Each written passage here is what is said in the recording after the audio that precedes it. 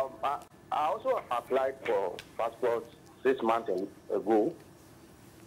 Six months. Six months. Yeah, six months ago. So I was. They, after a month, they asked me to go for biometric. Right. Then after the biometric, they gave me a month to come for my passport. I've been there several. Every month I have to go to Accra for to check up whether my passport is ready.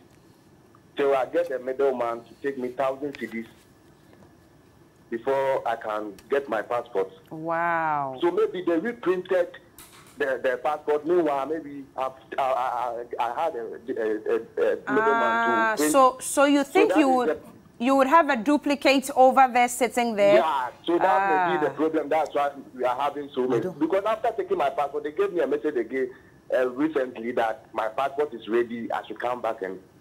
Meanwhile, Oh. I had a, a middleman to to print out my passport for me. Oh wait, so after getting the middleman to give you a passport, now the passport office calls you to tell you that your original passport that you applied for on your own is now ready Exactly. Exactly. Wow. Why did you go through the middleman?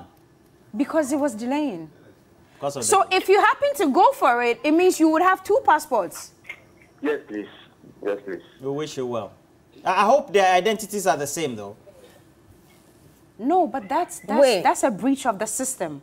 Which- One human being Yeah. cannot have two passports. So they'll so that's cancel what one. he's saying, They'll cancel one if he doesn't go for it. and that's waste of the booklet. Yeah, it's because... So I didn't go. So I didn't go for it. All right.